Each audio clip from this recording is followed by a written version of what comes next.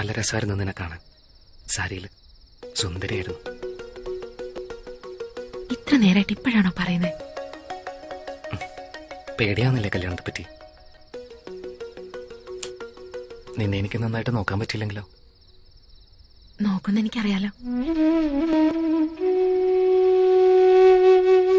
I love you Madhu. I love you. എന്താ sir? ഭയങ്കര romantic മൂഡിലാണെന്ന് തോന്നുന്നു.